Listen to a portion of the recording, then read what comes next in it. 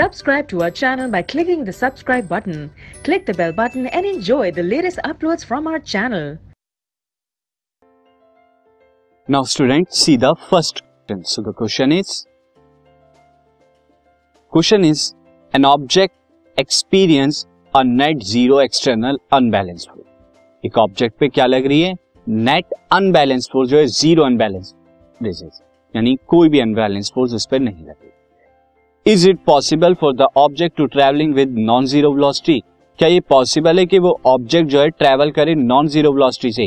Non zero velocity का मतलब यानी कुछ ना कुछ वो जो है डिस्प्लेसमेंट कवर करेगी इफ़ यस अगर ऐसा है then state the condition that must place down magnitude and the direction of the velocity तो हमें वो कंडीशन भी देनी है कि जिस कंडीशन में पॉसिबल है। एंड अगर नहीं हो सकता ऐसे तो प्रोवाइड रीजन तो हमें रीजन भी प्रोवाइड करना है कि ऐसा अगर नहीं है तो क्यों? See student no no. इसका आंसर होगा, ऐसा नहीं हो सकता कि ऑब्जेक्ट जो है ज़ीरो एक्सटर्नल अनबैलेंस्ड फोर्स ना लगे उस पर, और वो क्या प्रोड्यूस करे? नॉन ज़ीरो वेलोसिटी नहीं। वो ज़ीरो वेलोसिटी जो है प्रोड्यूस करेगी। क्यों?